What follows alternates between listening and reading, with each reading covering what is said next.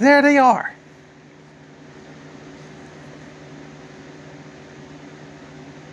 It's time for action. Yeah. Guns? Check.